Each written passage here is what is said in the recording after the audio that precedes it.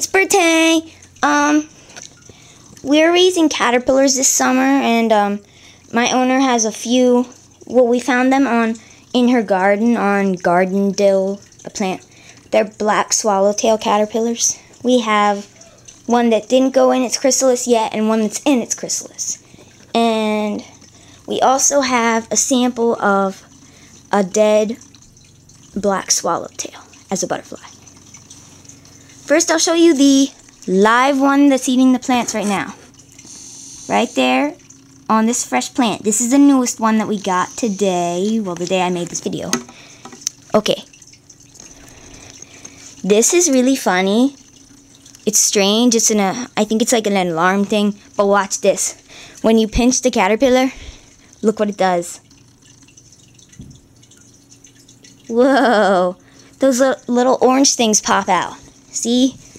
Poke, poke, poke. Ew, he smells. We better put him back in. and here's Cacty, my owner's favorite, and his chrysalis. It was really fun watching him turn into his chrysalis, make his chrysalis and stuff. And then this is what they're going to be. This beautiful butterfly, a big one too. See, look how big it is.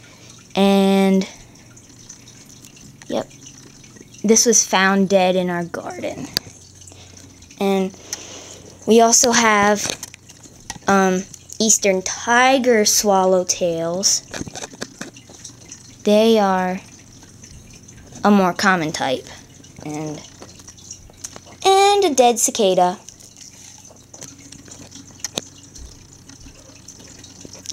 Well, those are caterpillars. I'll tell you how they do did later in a video. See ya. Poke.